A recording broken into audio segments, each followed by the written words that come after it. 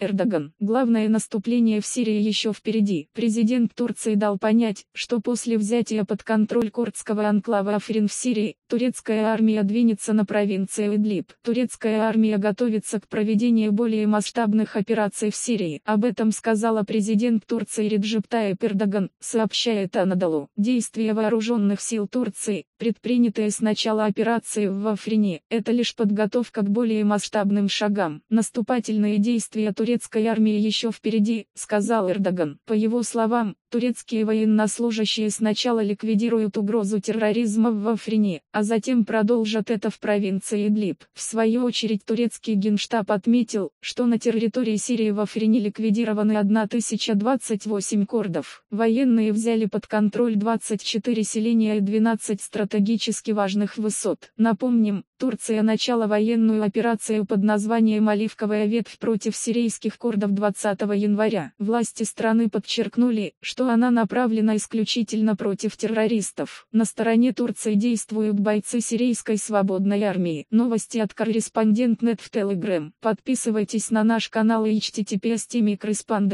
По материалам сайта Newsgro.com.